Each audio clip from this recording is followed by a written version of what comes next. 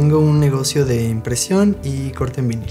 El reto más grande era no saber exactamente cómo hacer las cosas al principio. Tratar con clientes, hacer cotizaciones, sacar presupuestos. Fue un reto, pero creo que ha valido la pena. Creo que es muy importante atreverse. Cuando te atreves logras encontrar cosas que no conocías antes y cosas que no sabías que podías. Si te esfuerzas, eh, puedes lograr un montón de cosas.